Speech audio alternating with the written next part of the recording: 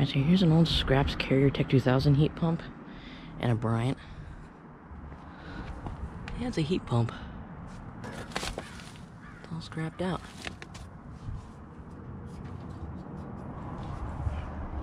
There's an old fan motor.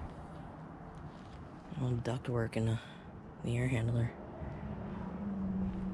This is a gas furnace. 1995, three ton. Sad. Defrost board. Contactor. I always wanted to see one of these cut open. Large cycle reversing valve. It's pretty nice. Here's the old coil.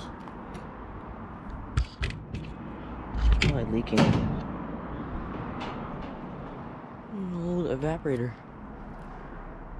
May have been leaking at some point. Another gas furnace. That's pretty cool. Sad. Another gas furnace. This is probably a dual fuel system. Here's a day and night. This is actually a day and night. Millennium scroll. Straight cool. 1996 5 ton. I don't know what that is.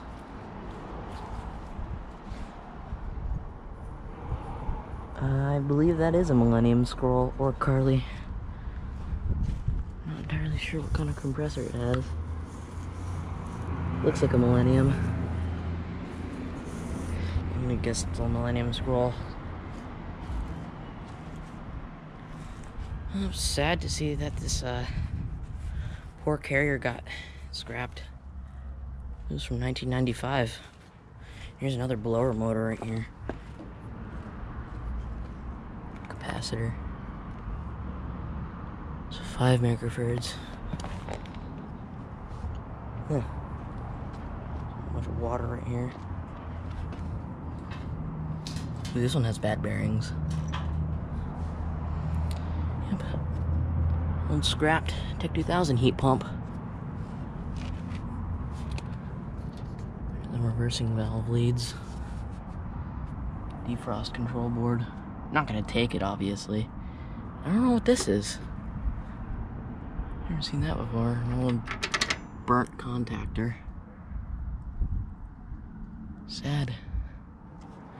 really is. Well I got lucky finding these units. Might be actually another one here. This building. I don't see one. Mm, Scrap Tech 2000 heat pump. Right then, thanks for watching.